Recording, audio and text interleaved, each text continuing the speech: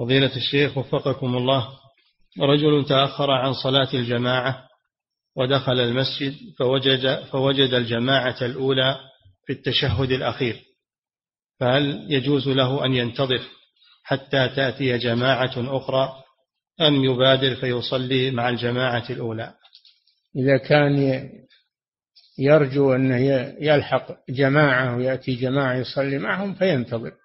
أما إذا كان ما ما يدري يجي أحد أو ما يجي أحد فإنه يدخل مع الإمام فيما بقي من الصلاة يحصل على الأجر. نعم ولا يفرط في الأجر.